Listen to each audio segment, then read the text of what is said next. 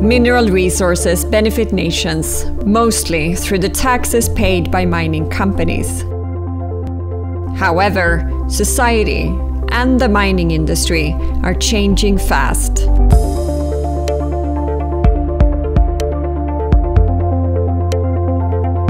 The IGF and ATAF think it's time to redefine the financial contributions from mining.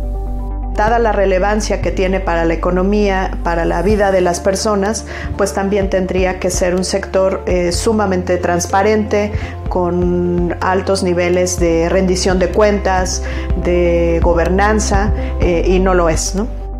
All of these uh, changes and shifts that are happening in society have a bearing on how governments should benefit financially from their mineral resources. Well, in a fast changing, disruptive world, uh, you need tax systems which recognise the rapidity of change. And what worked a decade ago or 20 years ago is not going to be working uh, like the same in 20 years' time.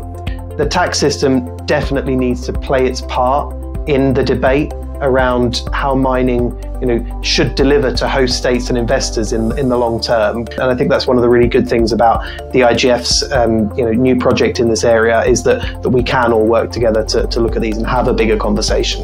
The project is seeking to answer two questions. How do we improve the current mining tax system? The second question that we're trying to answer is what are the alternatives? It's by having a variety of ideas and options that I think uh, governments and citizens can make better choices. Everybody has a stake in this, everybody has an interest in this, otherwise, the future of mineral resource, resources is going to be quite doomed. We don't want that. We can fix that, we can change that. We must do that now.